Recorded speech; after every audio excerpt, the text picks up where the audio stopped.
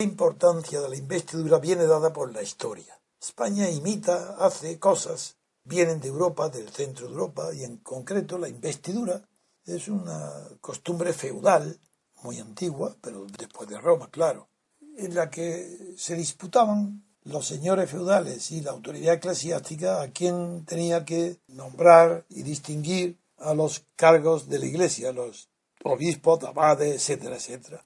Y se llamaba investidura el acto simbólico en virtud del cual, bien sea el papa o bien sea el emperador o el señor feudal, entregaban un símbolo de la toma de posesión del cargo que variaba desde entregar la espada para investir caballeros, que eso lo habéis visto ya desde siempre, un rey entregaba la espada a los caballeros, porque en realidad la investidura siempre implica un poder superior que le hace investir el mismo a un subalterno, a un vasallo. En la investidura hay señor y vasallo, y el que hace la investidura es el señor.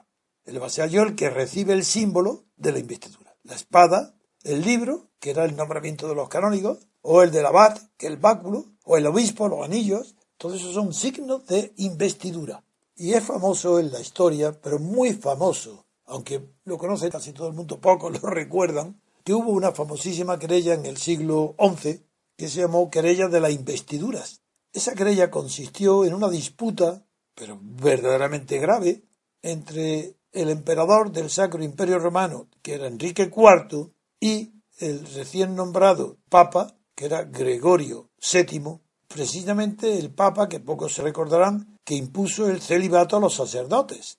El que no podrían casarse fue esto y lo inauguró en el siglo XI. Pues este Papa tuvo que sufrir la prepotencia, el desafío que el emperador del Sacro Imperio le hacía al Papa nombrando él los cargos eclesiásticos. No solo los obispos, todo el poder de la Iglesia, el poder de los cargos y las jerarquías eclesiásticas lo hacía el emperador Enrique IV mediante procedimientos de investidura, que es la entrega de los anillos, del Baco. Llegó un momento de tensión tan grande que el Papa tuvo miedo del poder temporal del emperador que arremetiera en una guerra contra él. Y ahí comienza lo que se llama querella de las investiduras. Es quien tiene que dar posesión de los cargos inferiores o subalternos al del emperador o el Papa.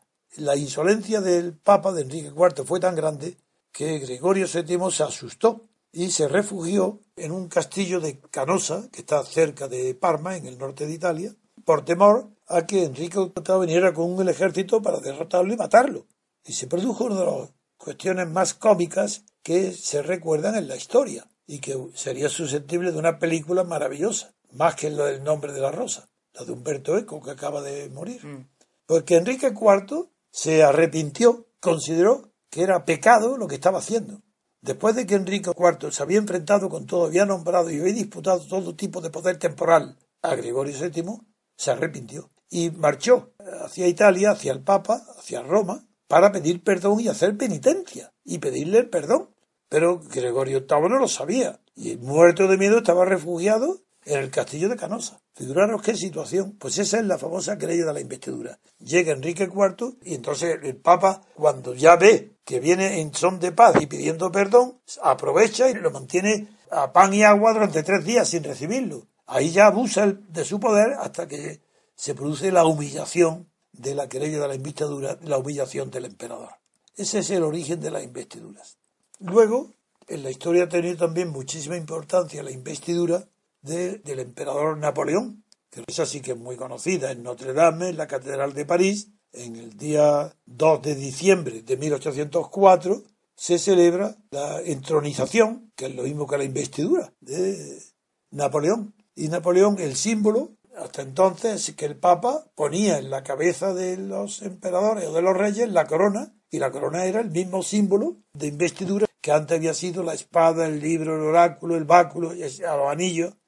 Y Napoleón, sabiendo lo que eso significaba, con plena conciencia de lo que suponía que el Papa indiera la toma de posesión, le cogió la corona, se la quitó y se la puso él mismo. Ese es el símbolo verdadero de la investidura.